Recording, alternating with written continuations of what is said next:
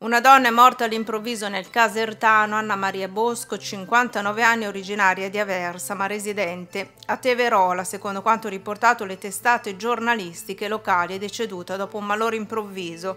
Come riporta edizione Caserta, la donna lascia il marito Antonio e i tre figli, Gennaro, Orsola e Francesco. Tantissimi messaggi di cordoglio e affetto per ricordarla.